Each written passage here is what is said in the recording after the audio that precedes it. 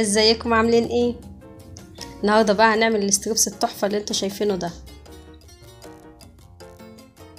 بأسهل طريقة وبأقل مكونات إن شاء الله هتعجبكم. يا ريت تجربوها.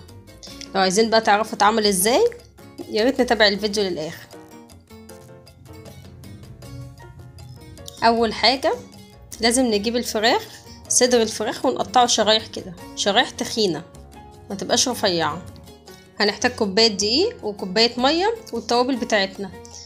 فلفل أسمر وكمون وجنزبيل وبابريكا وكاري ومعلقة كبيرة ملح وكركم وبهارات فراخ ومعلقة صغيرة كاتشب حار.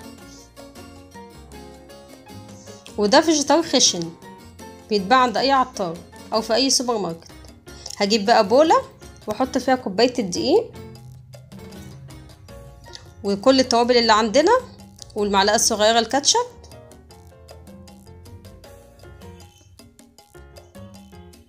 هقلبهم بقى كويس جدا. وبعدين أضيف المية. أنا حاطة كوباية مية وإذا احتاج تاني مفيش مشكلة نزود.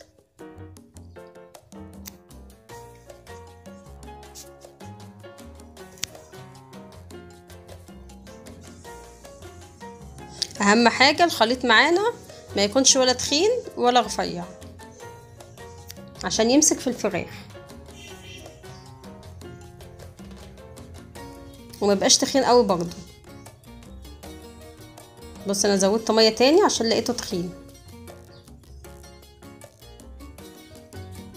يعني كده خد بالظبط كوباية وربع مية. بس هو كده بقى قوامه كويس. ما يبقاش سايل معانا وما يبقاش برضه تخين قوي.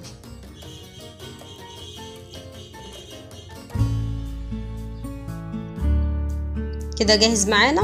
هحط فيه بقى الفراخ اللي إحنا مقطعينها شرايح تخينة.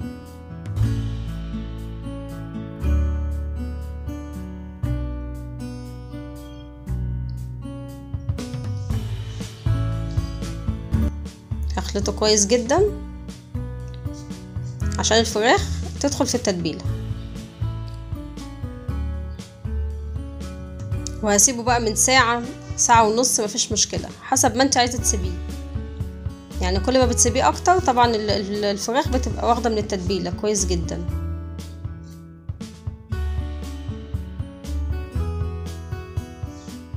بس هسيبه بقى. أنا سبته ساعة. بعد الساعة. هجيب الفيجيتار بقى بتاعنا. شوفي بنفضه من التتبيلة عشان ما تبقاش تخينة قوي. واحطه في الفيجيتار الخشن. ولازم نضغط عليه كده عشان الفيجيتار يمسك فيه. وما ضغطناش كده. أول ما نحطه في الزيت هيفك.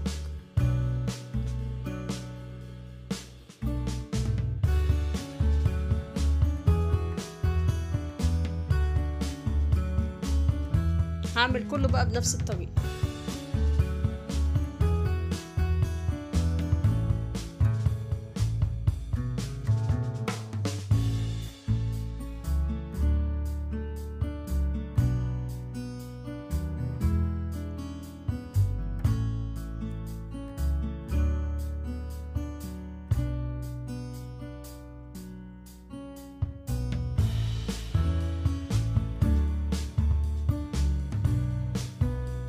حاجة انفضه من التتبيله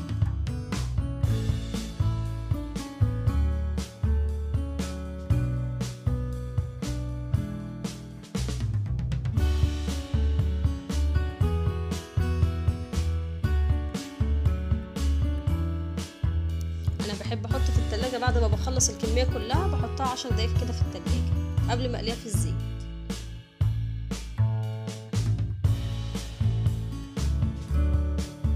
بتضمني أكتر ان هي ما تفكش في الزيت خالص. أهم حاجة نضغط عليه.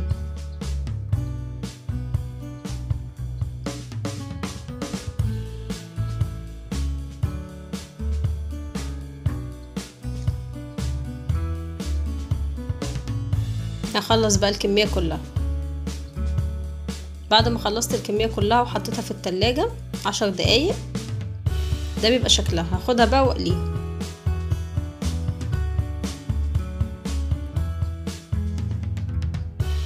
طبعا في زيت يكون كتير بسيبه يسخن الأول وبعدين أحط فيه.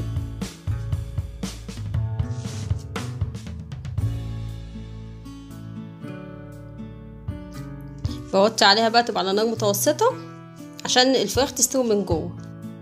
هعمل بقى الكمية كلها. ده شكلها بعد ما خلصناه. crispy ومقرمشة وما فكتش خالص. جربيها بقى هتعجب الأولاد جدا.